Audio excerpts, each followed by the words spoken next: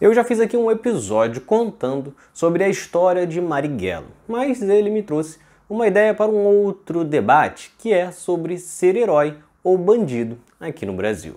Lá no episódio de Marighella, eu falo que de um lado tem uma galera que o enxerga como um herói que lutou pelo Brasil e é um exemplo para agora e tudo mais. Do outro lado, tem uma turma que o enxerga como um bandido e fazem campanhas totalmente contrárias ao filme, xingam e tudo mais, e até acham que é um absurdo que alguém o trate como um herói ou ídolo.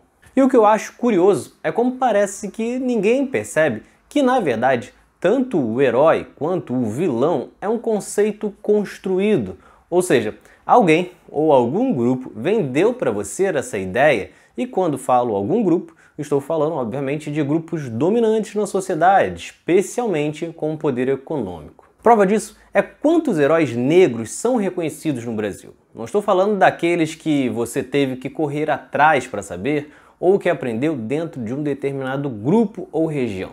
Falo daqueles que são representados repetidamente por todos os cantos. Quantas vezes você já ouviu falar de João Cândido, Luiz Gama, Francisco José do Nascimento, entre outros? E mulheres? Quais mulheres são heroínas do Brasil? Como Nízia Floresta, Leolinda Dalto, Laudelina de Campos Melo. Quantas vezes você já ouviu falar destes nomes? Sabe por quê?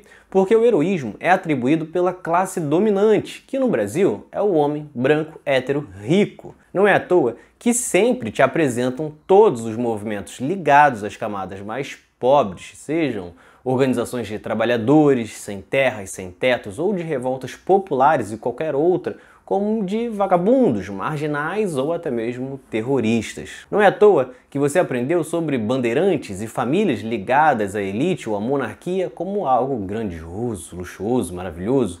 Mas quando você fala um pouco sobre Zumbi dos Palmares, por exemplo, fazem um questionamento se ele tinha escravos ou não. E em nenhum momento ligam a riqueza das famílias citadas anteriormente, até os dias de hoje, com a ligação da exploração no passado e até no presente. Portanto, claro que em alguns casos as pessoas se dedicam a estudar a fundo sobre um personagem e com isso tomam uma decisão ou entram em algum grupo que esses nomes são apresentados.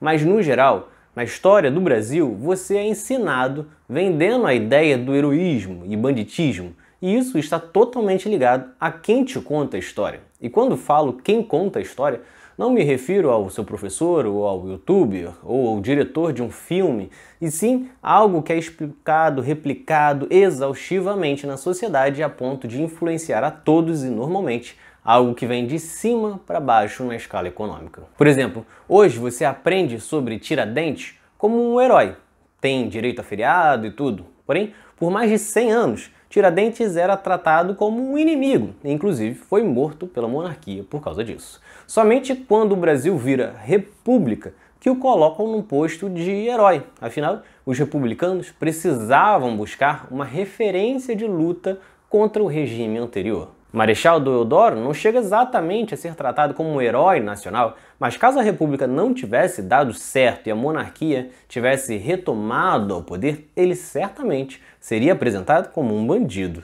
E você vê como essa ideia de herói é tão cravada na cabeça das pessoas que elas fazem defesas ou críticas radicais a esses personagens. Aqui no canal eu já falei sobre o Duque de Caxias e fui bombardeado. Por quê? Porque Caxias sempre foi vendido como um herói, um patrono do exército, responsável por apaziguar revoluções internas e manter o Brasil unido. E no episódio, basicamente, eu conto o outro lado, que o Duque de Caxias matou muitos brasileiros que apenas lutavam por condições mais dignas de sobrevivência. Eu nem sequer o chamei de bandido, apenas questionei essa ideia de herói nacional, sendo que não é uma coisa unânime. Então, ou seja, basicamente o definidor de herói e bandido no Brasil está muito mais no que acontece depois, em quem conta a história, do que exatamente do que foi feito pelo personagem.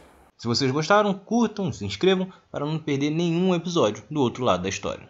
Acompanhe a gente também nas redes sociais, estamos no Instagram, no Twitter, no Facebook, além do nosso podcast que está espalhado por todas as plataformas de áudio. Ah, e todas as fontes utilizadas neste episódio estão no nosso site, outroladodahistoria.com.